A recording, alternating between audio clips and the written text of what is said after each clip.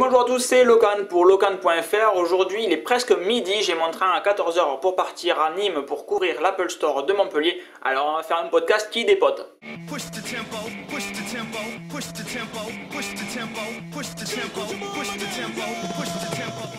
D'abord, j'aimerais remercier les personnes qui ont rendu possible le voyage de la semaine dernière, celles qui ont participé financièrement euh, pour me payer mon billet et ainsi couvrir l'ouverture de l'Apple Store, le Windows Café et la soirée des 5 ans de Firefox. J'espère que pour les autres, le contenu que j'ai proposé vous donne une bonne idée du rapport sur investissement que vous pouvez avoir si vous me faites confiance pour couvrir des événements Je remercie également les sites MacPlus et willofmac.net qui m'ont publié les deux gros sites euh, sans qui je n'aurais pas eu un si grand nombre de vues et euh, autant de nouveaux visiteurs. Bienvenue au nouveau. Comme vous l'aurez compris dans l'introduction, je pars ce week-end pour couvrir l'ouverture de l'Apple Store de Montpellier.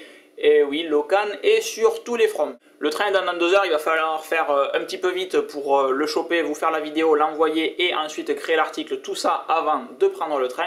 Mais comme vous l'avez vu dans le billet qui a juste en dessous, on est maintenant sur Vimeo, sur le blog, c'est-à-dire que ben, l'envoi est prioritaire, la vitesse d'encodage est prodigieuse et euh, tout au bas bene. Hier, je vous avais fait justement un petit sondage pour savoir ce que vous pensiez de, des podcasts de Paris et vous avez été assez nombreux à répondre jusqu'au moment où quelques cons ont programmé un robot pour venir pourrir mon sondage. Quelques cons, oui, je le répète, parce que c'est vraiment quelques cons et surtout que ça me fait plaisir de parler comme ça ouvertement dans un podcast. Vous étiez donc une bonne, euh, grande, grande majorité. La moyenne était à peu près à 7, 8 sur 10 pour la note euh, ressentie des podcasts. Vous étiez assez nombreux à vouloir proposer des, des dons permanents sur le blog afin de m'aider. Merci à ceux qui en ont eu l'idée et à ceux qui me soutiennent dans cette politique.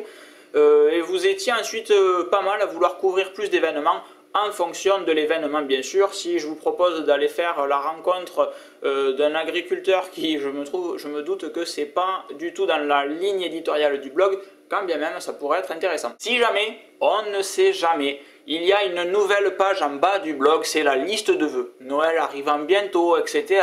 Des petits céréales pour des applications. Ah et merde, là je l'ai pas du tout bien formulé, ils vont me prendre pour un gros connard qui veut juste leur soutirer des sous sous prétexte qu'il fait des podcasts.